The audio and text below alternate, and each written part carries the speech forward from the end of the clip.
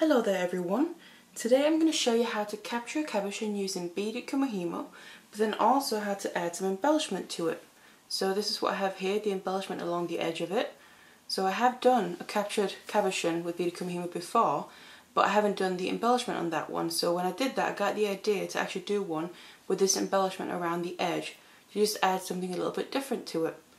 You can see the sparkle that it gives as well, obviously depending what you use. So this is what I'm going to show you how to do today. So if you want to learn how to do it, then keep watching. So these are then the materials that we'll need.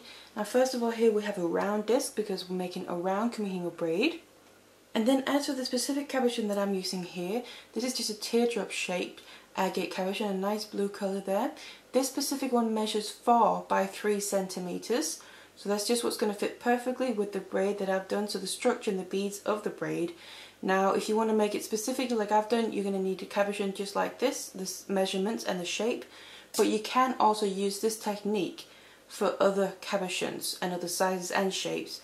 But you're just going to have to adjust the beads on the braid a little bit according to fit that then. And then the cord that we'll need is this here.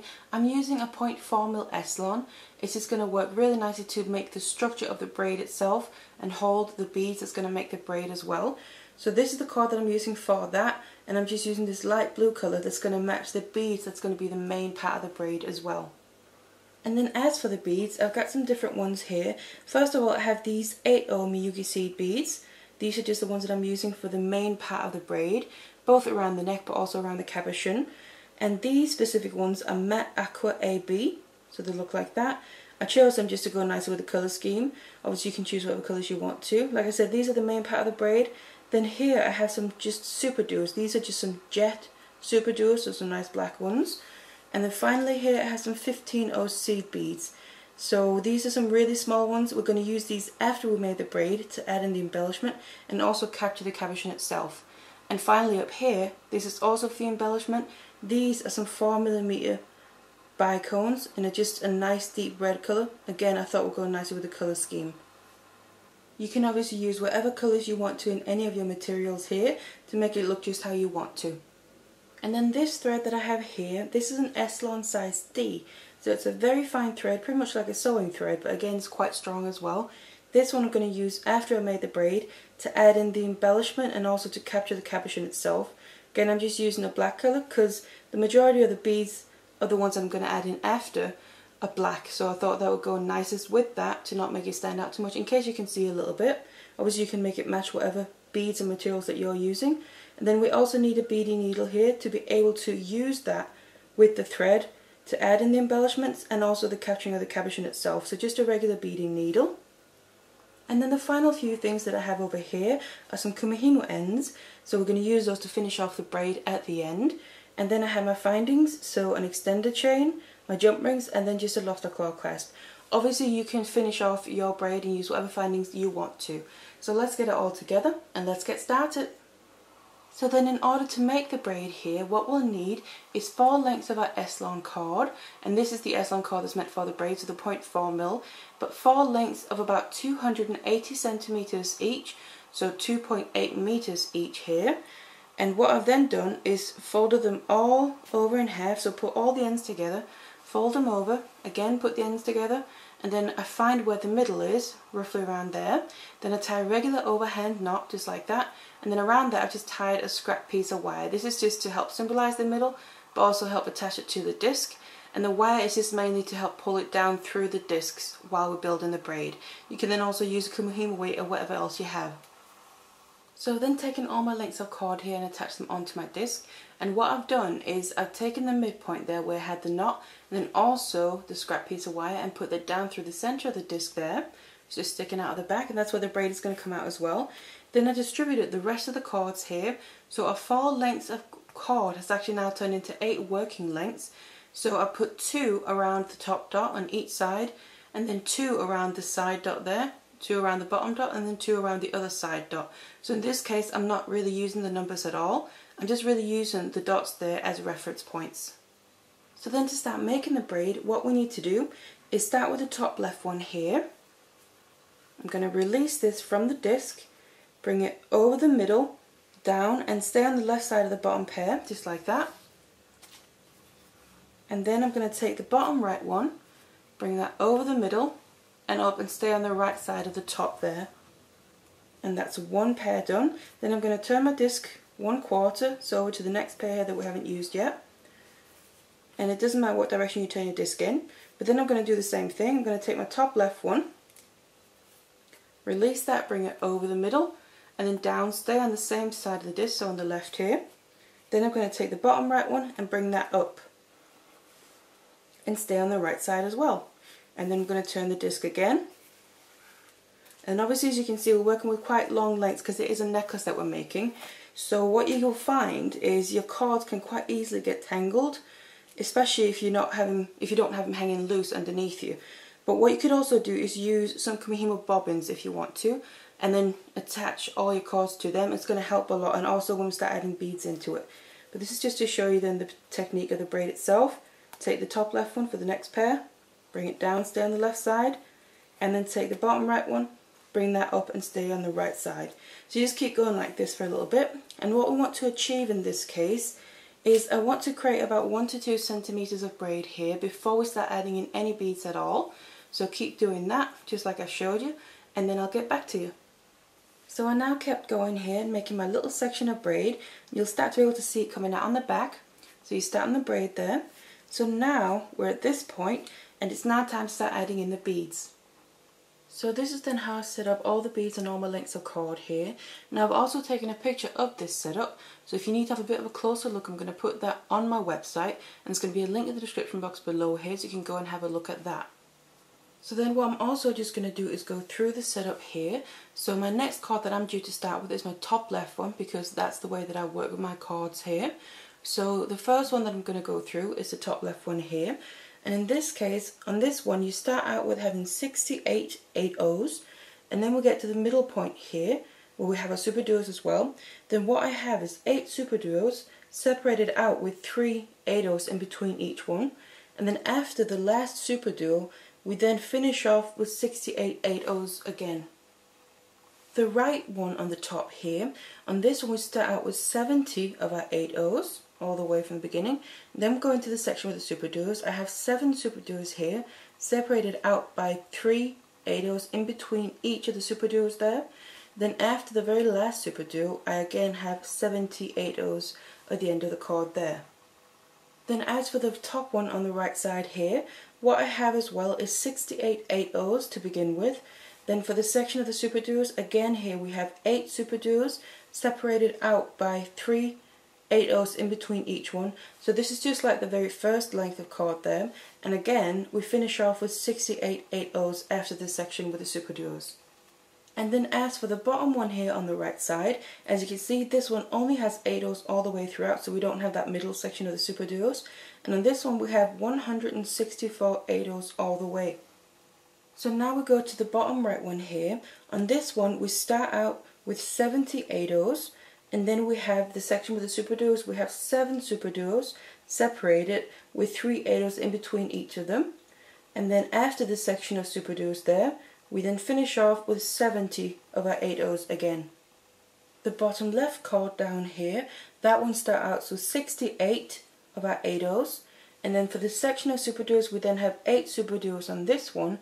That's then separated out with the 3 8 O's in between. And then to finish off, again, we have 68 8 O's as well. And then for the bottom cord on the left side here, for this one we start out with 70 of our 8 O's. Then we have the section with the super duos. We got seven super duos separated with the three 8 O's in between each one. And then we finish off after the section of super duos there with 78 O's again. And this was the last one with super duos on. Then as for the last cord here, again you can see this has got no super duos, so that's just like the one down here. And this one also has 164 8 all the way throughout. So like I said before, the next card that I'm due to take is my top left one here, because that's the one I used to create the beginning of the braid. It's just how I work naturally. And how you want to set up your beads, if you start the same way that I do here, so start with the top left one, it's the same way that I just showed you here. So that means if you start with the top left one or the bottom right one, you want to set up the beads the exact same way as here because those two are the same.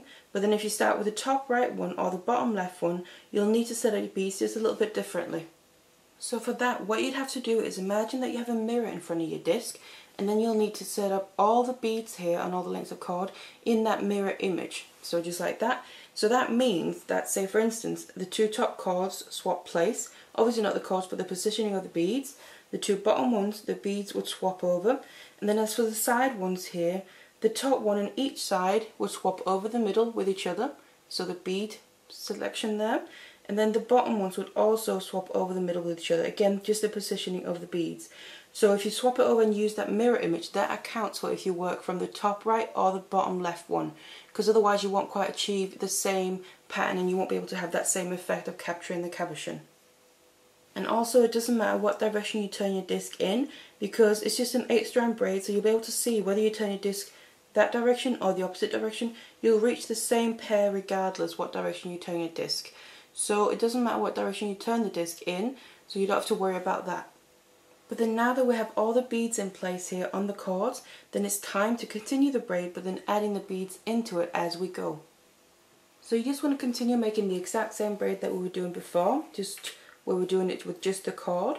So I'm going to take my top left one here, but then the difference is now, as I'm releasing the cord, I also want to grab the very first bead and then let that drop all the way down to the middle of the disc here, just one bead at a time and then that's going to tuck in underneath all the cords in the middle. If it doesn't tuck in by itself, make sure you just tuck it in with your finger there. Then bring the cord down the exact same way as before. Then we take the bottom right one. And as we release the cord, I'm also going to let one bead drop down into the middle there. And then bring that up to the top. And then go to the next pair.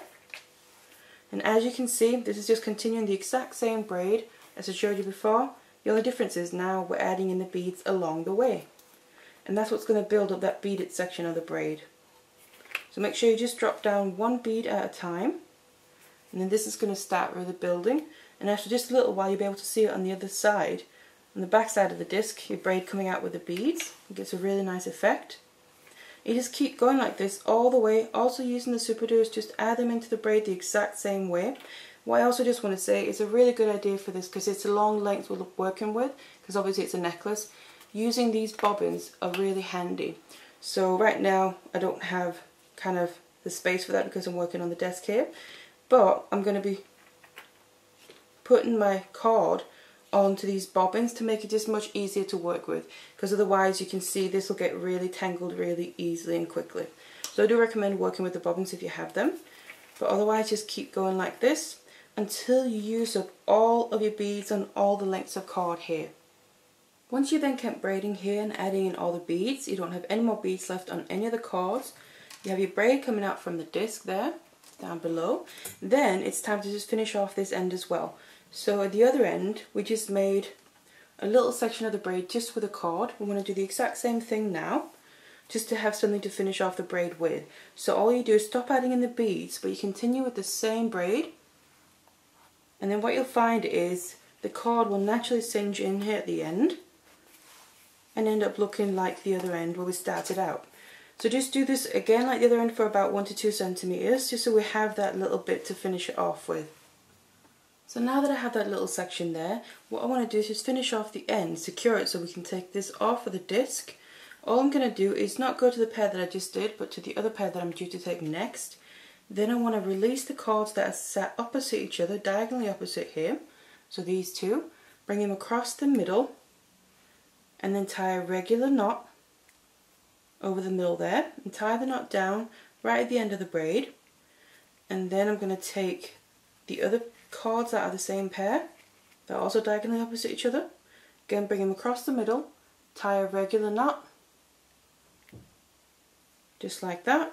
Tie that down at the end, and then go to the other pair, cords that are diagonally, op diagonally opposite each other. Tie a knot, and this is just basically to secure the end so we can take it off the disc, but also without adding too much bulk to the end of the braid, because we want to still be able to finish it off nicely. And then tie a knot with the last ones as well. So there we go.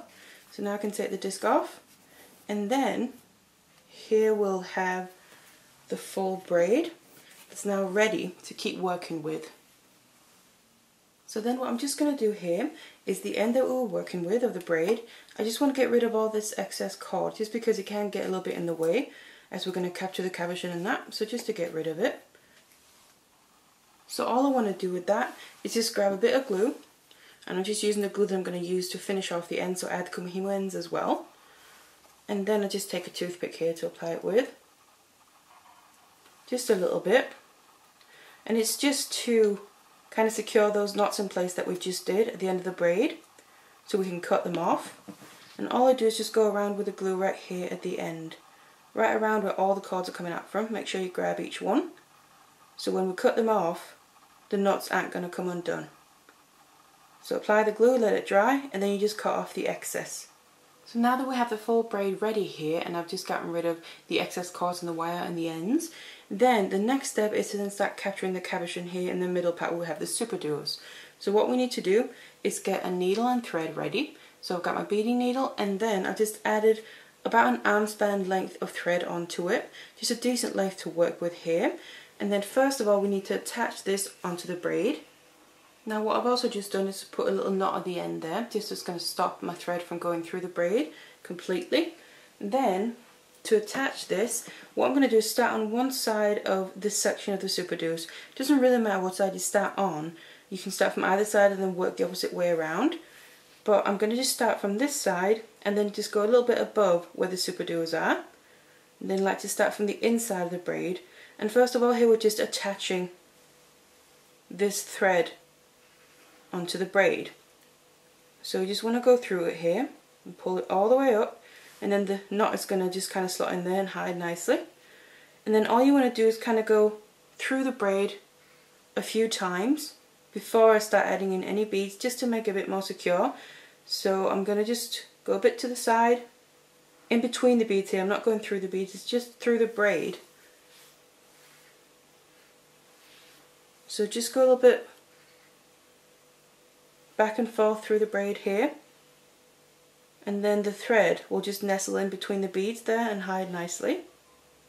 So just do this a few times, ending up down by your very first super duo. When you've then gone through it a few times, you want to work your way down towards the first super duo, there, like I said, and you just kind of choose one of the lines going around. But then what you want to do is make sure your needle comes out just below that last super duo. So not above it there, but just below it. So basically in between the two first ones. But just coming out below that very first one. Pull it all the way through.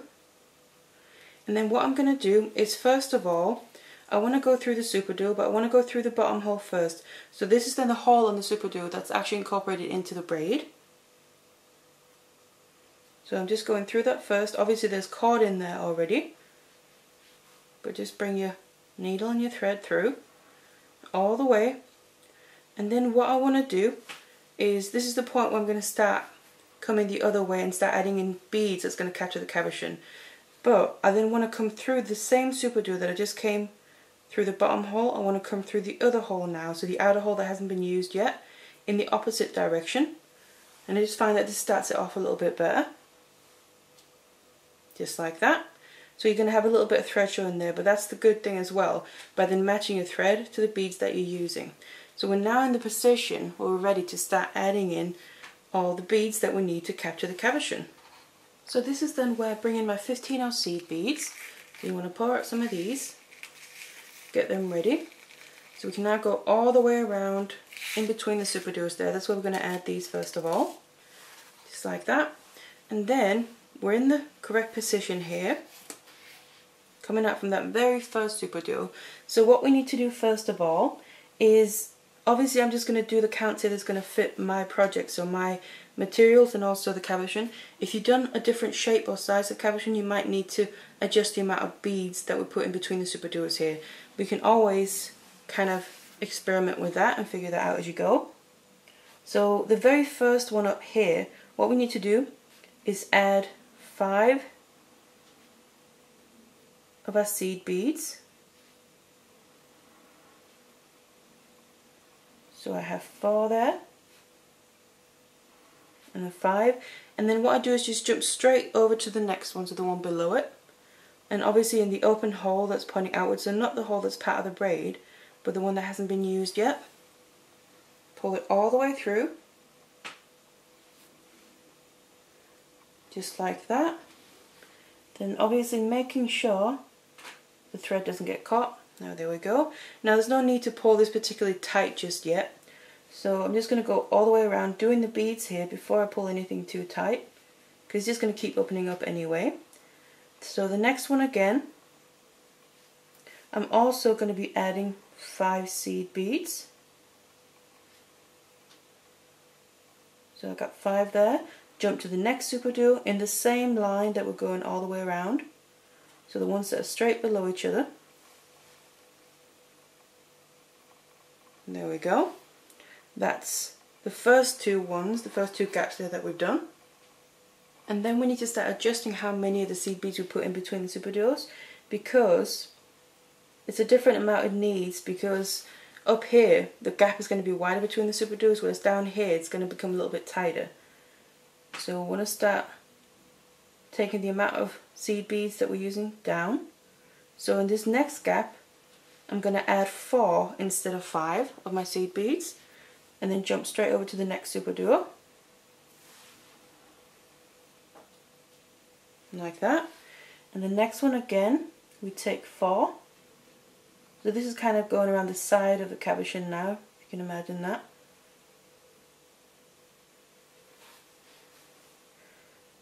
Jump to the next super duo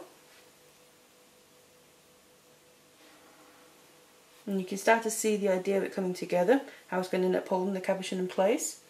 And the next gap again we're using four for that as well.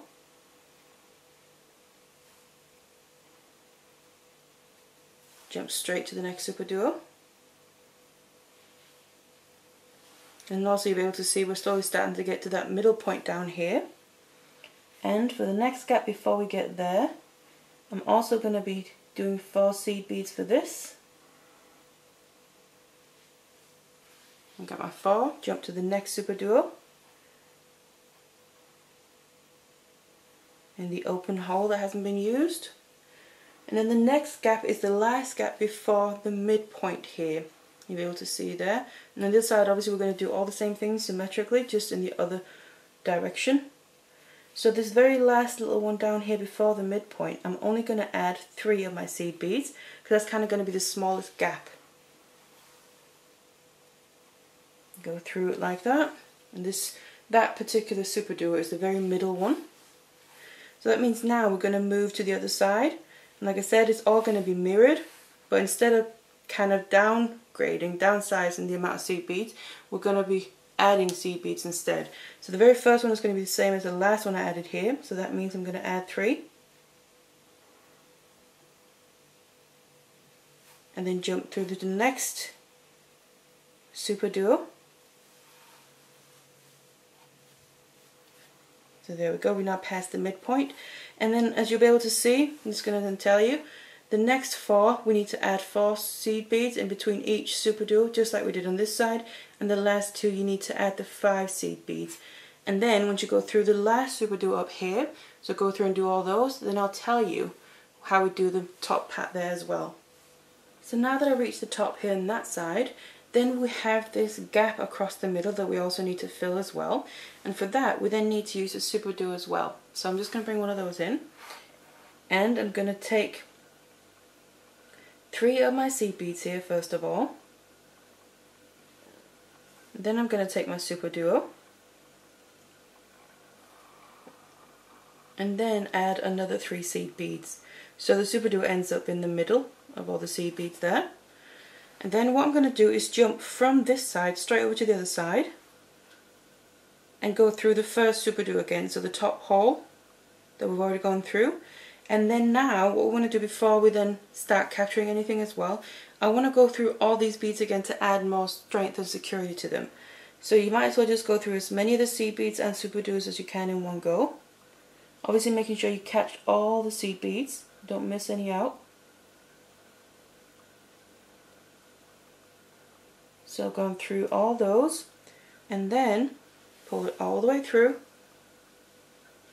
and you'll see that those extra seed beads with the extra super duo up there is going to sit and bridge that gap just nicely. And then again you don't have to pull it tight just yet, it might do that automatically anyway, but you want to go through all of these beads all the way around one more time.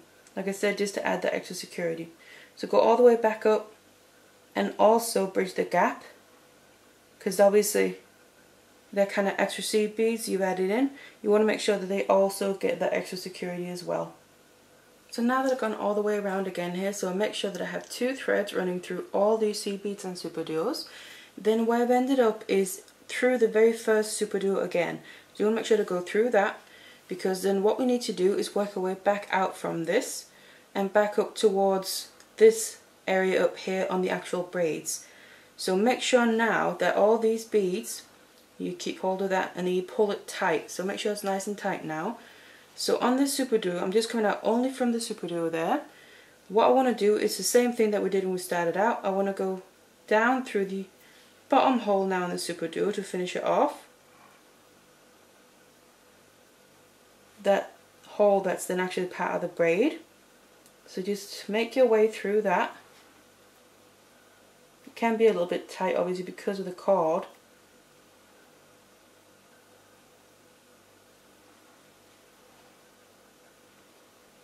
My needles kind of get entangled there a bit with the cord. But just make your way through, just like that. And then pull your thread all the way through. And then what I just like to do before I completely pull it through is kind of keep hold of this loop on this side. And before I fully tighten it, I just want to tug on this part of the thread that's coming from the top of the super duo first, just to make sure it's nice and tight and then I pull through the rest. So there we go. That's now one side with through all the super duos there that's going to be captured with the cabochon. Now I'm going to go back through the braid again. I'm coming out from the super duo, just want to go through the braid a couple of times. That just helps secure all this in place as well. And also, like I said, we need to then get into position to move up to this area up here. So just go through the braid a couple of times, but then end up down here, just a little bit above that very first super duo. So now that I've gone through the braid here a few times, I've made sure that my thread is now coming out right down here, a bit above that very first super duo, but I want to make sure that I kind of look at my braid a little bit, because I'm now going to be using my braid and adding some more of the 8 O's to this area to kind of fasten it together. So what I want to do is find the bead that I think is suitable, and come out below that bead because then actually the bead in the braid there because what I want to do is then go through that bead with the thread just that single bead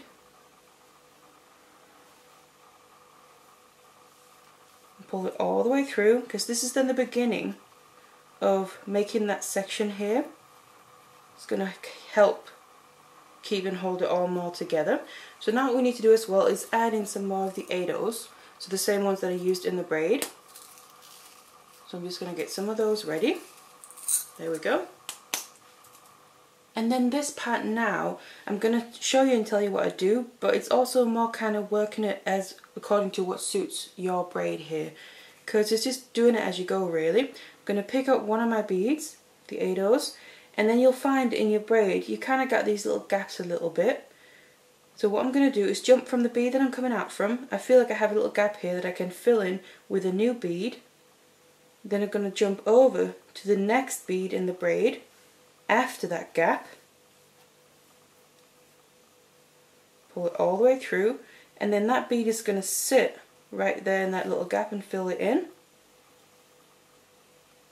But obviously you can see it does stick out from the braid but that's also what we actually want because I want to build up a little you can almost say a little bridge here that's going to go from this side of the braid crossing over this little open space and then connecting to the other side of the braid there.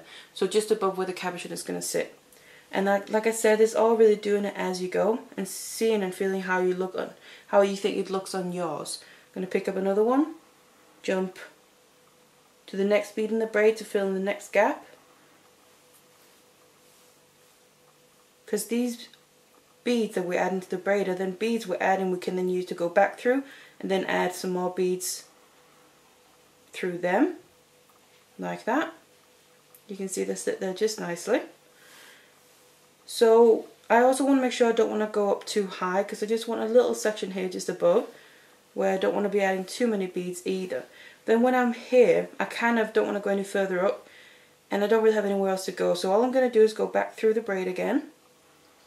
So when you're kind of in a place you don't really have any way you can go, just go through the braid and use the braid itself to reposition your needle and thread. Then decide where I want to come out from now, where I want to add in my next beads. And you just go through the braid to do that. Coming through here and maybe want to come out above the last bead that I just added.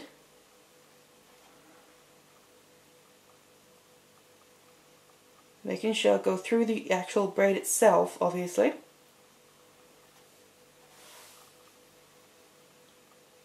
Like that. And then you can come back down through the same bead if you want to. And like I said, there's not really anything specific to this that you have to do. It's just doing it as you go and seeing what you think fits nicely on yours. Can then pick up another bead and then feel like if I can fill in this gap here and you can also try one, see how you think it looks. And if you then think that doesn't look quite right, you can always take your needle back out and reposition it. So maybe for that one, I could actually add two beads to fill in that gap. So it's just really trial and error and building it as you go.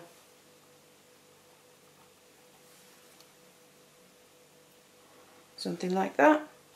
So just keep doing this for a little bit, adding this a little section of beads that's going to end up then being able to connect over to the other side. So I then kept on adding some beads here as you can see and it's now getting to the point where I'm almost reaching the other side. So now that I want to actually start connecting them I'm adding another bead and then you want to then have a look and see where it's going to fit and then start connecting the two sides together. Like I said just do this as you go and now I'm on that side. What I just want to do is to get that bead properly in position, is go through the braid.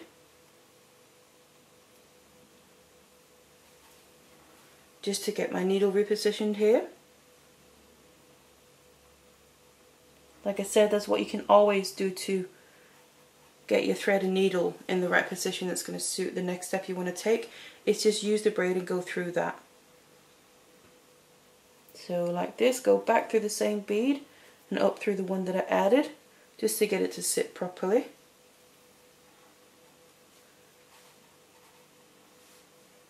And then also jump up through the next one in the braid because that's basically how we started off on the other side.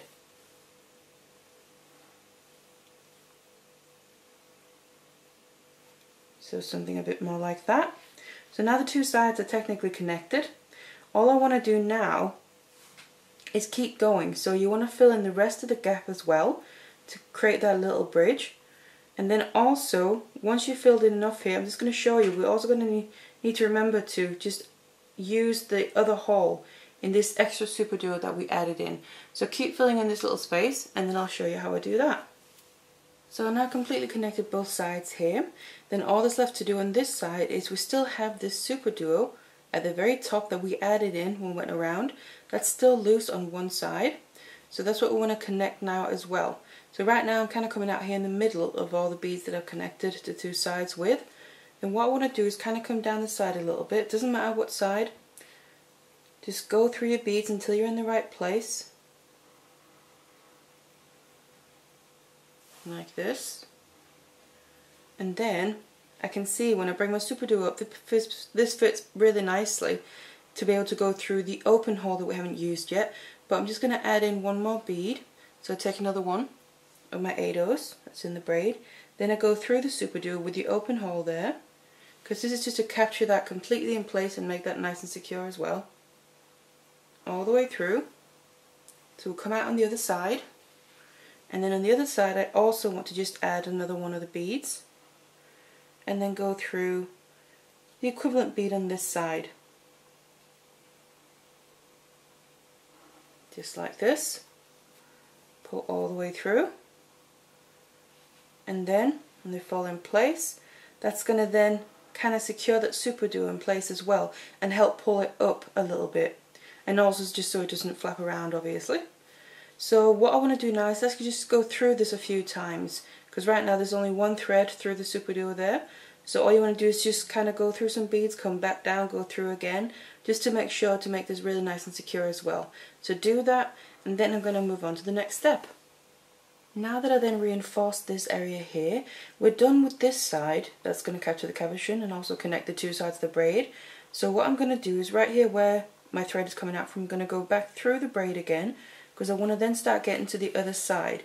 And again, just like on this side, we want to come out by the very first super duo. And like I said, it doesn't matter what side you start from, so whether you're on this side that's opposite to before, or whether you end up on the other side, it doesn't matter at all.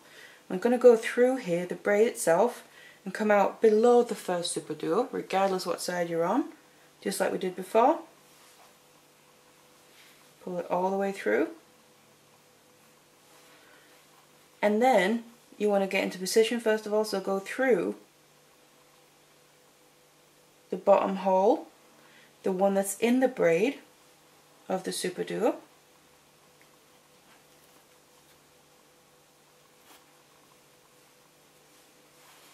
Getting tangled a bit, there we go.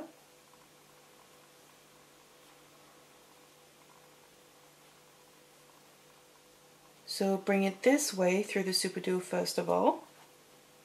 Just got a little knot there. There we go. And then this is just so we can get back through the super duo in the open hole, just like that. And now we're ready to add beads on this side as well. So all you want to do here is the exact same thing that I showed on the other side. So start from that side of the super duo that we're at, add on your little seed beads, jump over to the next one. And then on this side, what you want to do, the one that I've already done here, that's the front. The one that we're going to do now, that's going to be the back side. And the bases here is pretty much the same. Obviously, if you're using different materials or different cabochon, you're going to have to customize it to yours. But for mine here, it's going to be the same all the way around, the amount of beads that we need to add in between, except for the very top. But just add the same all the way around like I did on the front side here. You can go back and have a look if you need to. Or just add the ones that's going to suit yours. And then when we get to the top I'll just show you the slight difference. So now to come all the way around to the other side here, we then have this little gap that we need to bridge, just like we did on the other side. The difference here is I'm going to just use a slightly different amount of beads. So I'm going to take four of my seed beads, like that. Just the same ones that we used throughout here. Then I'm going to take a super duo and then another four seed beads. And again, if you're using some different materials, so say a different cabochon, so different counts of everything, just customize it to whatever you need. And then I'm going to jump from this super duo that I'm coming out of back to the very first one through the top hole. And then straight away, just start going through all the beads again because this is where you want to go through everything you just done all the way around here to reinforce the whole thing, make it stronger. So just do that all the way around. I now made it all the way back around again here, so I've gone through all these beads twice now. Remember to also make sure you go through the top part, so the little bridge there, once more. And then I've gone back through the very first super duo again in the top hole. So before we do anything else now, we obviously need to capture the actual cabochon, because if you tighten this now, beforehand, we won't be able to then get it in. So before we tighten it and then kind of move on, I just want to get the cabochon in place, like that. And then we just need to pull this a little bit. So pull at the thread to make sure it tightens nicely around the cabochon. And then you'll be able to see as well it catches nicely from the front and the back. Just going to sit like this and then we basically need to move on from here now. So I'm coming out of that very first super duo. All you need to do is go back down through the other hole, the same super duo. So this is again the one that's in the braid.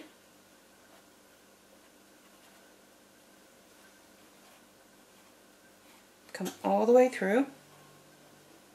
Bring your thread through as well. And again, before I just completely pull it through, I like to just leave a little loop here to then just make sure that I have completely tightened all the way around the cabochon here before I then pull this through because it can then be a little bit hard to do it otherwise. Just tighten that and then pull it through. So that little loop, leaving that before you pull it all the way through the super duo just helps with that. So there we go. And then if you feel like you're happy with that and it seems like it's capturing nicely, and you can just test it out, it's not going to fall out or anything, then the cabochon is in there securely now. What we need to do now is then on this side repeat what we did on this side here at the top. So just connect the two sides of the braid exactly like here on the back because you can see there's a little gap here so we've done it on the one side but we need to do it on the back as well and then also incorporate that super duo right at the top so the exact same thing that I just showed you here you want to then repeat that now so do that and then once you've done that we're going to get into a position close to one of the sides here of the super duos that's sticking out all the way around and then we need to add in the embellishment.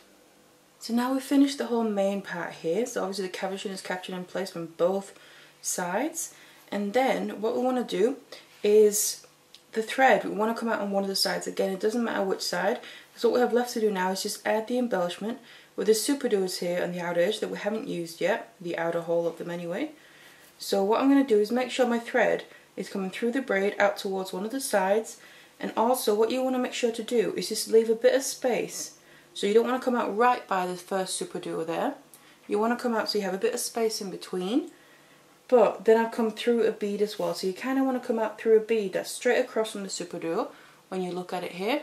But you also have some space in between. Because then what we need to do is start adding in the embellishments. So for that I'm going to be using, again, the 15 seed beads here to get the spacing right as well to help with that. But then the actual embellishment itself is going to be these 4mm bicones and I just got this nice red colour to go with the colour scheme here. So these are the beads we'll be using and now we need to add them here on the outside edge. So to begin with here, and again this also depends if you're using different materials, so different cabochons, so you made the braid a bit differently. It might have a bit of a different shape, so you can customize it to work with whatever cabochon that you've got here. But for this one, what I'm going to be doing is the very first space, so the bead that I'm coming out from in the braid, I want to add one of my 15 O's, one of my 4mm bicones, and then another 15 O. And that's going to fit right up here because what I'm going to do is coming out from that bead in the braid and I'm going to go through the open hole on the very first super duo there. Pull it all the way through and you can see that's going to sit just like that and add some embellishment right at the top. So this is the beginning of it. Then we need to move on. Again one 15 0 one bicone and 115 this is the next one. Jump from that super duo over to the next one in the open hole again that we haven't used yet like that. The next one again is the same. So 115 one bicone and 115 jump through to the next one. Next super duo in the braid there. So there we go. That's the first three little spaces we filled in. So the next one is where it's going to start being a little bit different. For this one I'm going to add 115 first of all because what you'll be able to see the spacing between the super duos it's a little bit different throughout up here you have a bit less space than say down here it's a bit wider so I'm going to add 115 one 4mm bicone and then I'm going to add two 15 after the bicone just because there's a little bit more space in the next one here. Jump through to the next super duo. You can see that fits there nicely. And now we're going to step up again. So we're going to use two 15 O's first of all, then the bicone, and then again another two 15 O's. Just like that. Jump to the next super duo on the outer edge. There we go, working our way all the way down. And we're kind of slowly working our way to the midpoint down here. But we're then obviously just going to come back up the other side. So again, two 15 O's, one bicone. And then another two 15 O's, so the same thing that we just did. Jump to the next one. Now around here the bottom, they're all going to be pretty much the same spacing. So we're just going to continue with this for now. Where it's two 15 O's, one bicone, and again two 15 O's. And jump to the next super duo. there we go, you can see it fits just perfectly around and gives a really nice embellishment. So we only have one left to reach the midpoint and that's going to be exactly the same.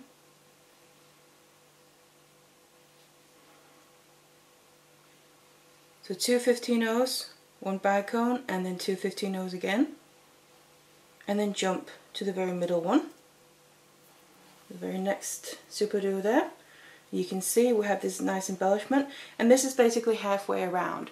So now that I've gone through all this, what you'll be able to see is you're going to be doing exactly the same thing on the other side except in a reverse order. So you want to then the next one is the first one for the next half. That's going to be the equivalent to the last one for this half that we just did.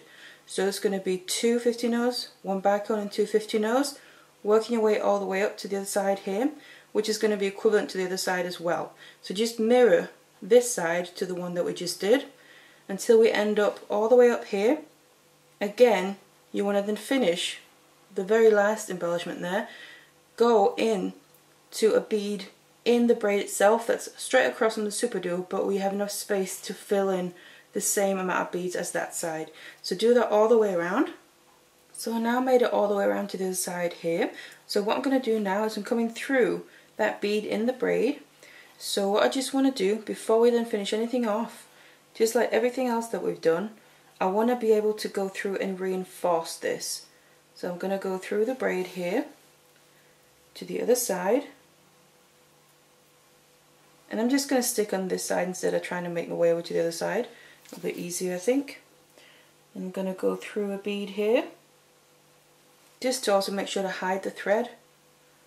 Because obviously especially this is a black thread whereas the beads and the cord in the braid is the light blue so I don't want the thread to be seen too much really, if at all, ideally. Come back through again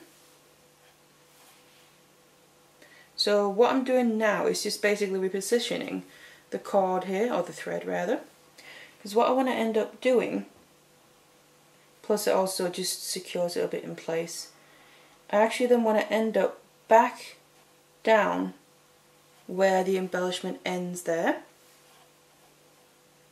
I'm just going to slowly work my way down, go through again. And again through a bead here